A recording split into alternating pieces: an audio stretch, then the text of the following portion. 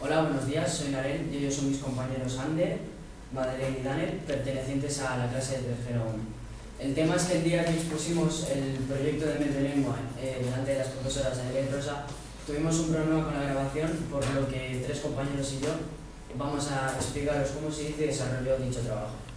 El proyecto tenía como objetivo el teatro, concretamente el teatro barroco.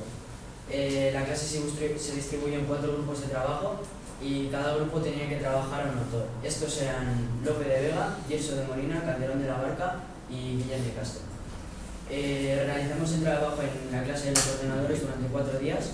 El proyecto, como se puede observar, se hizo en PowerPoint con un mínimo de 13 diapositivas y espero que os guste.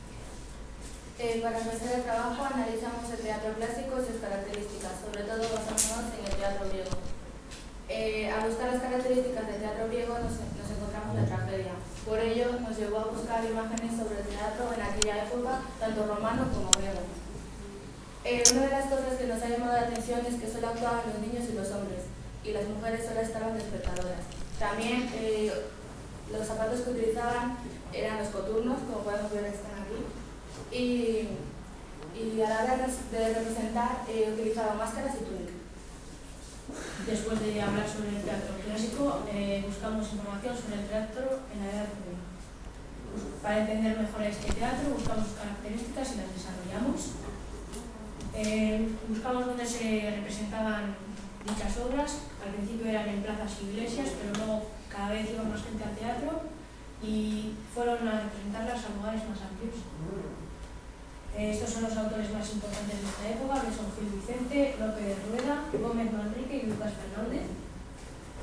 Y buscamos y escribimos información sobre el auto de los Reyes Magos, que es la obra más importante de esta época y se escribió antes del siglo XV. Y ahora llegamos al objetivo del trabajo, que era el barroco, pero para tener los conocimientos de esta época había que analizar eh, las épocas anteriores. Eh, analizamos lo que era el barroco, sus características tanto culturales como sociales. Eh, analizamos todos los campos artísticos de esta época y concretamente elegimos el teatro.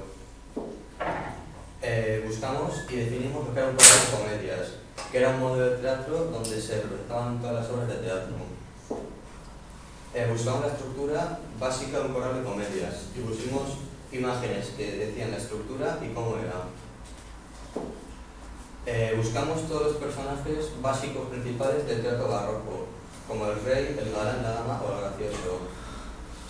Eh, buscamos y pusimos un par de imágenes sobre cómo se vestía en esa época y también nos ayudó a conocer cómo se vestía en las obras de teatro.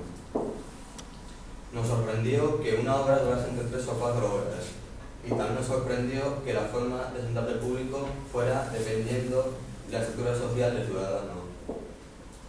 Buscamos actores y actrices famosos de la época y concretamente elegimos a Pedro Calderón de la Barca y su obra más famosa, El pintor, el pintor de. Esto ha sido todo. Esperamos que hayáis entendido cómo hicimos el trabajo y gracias.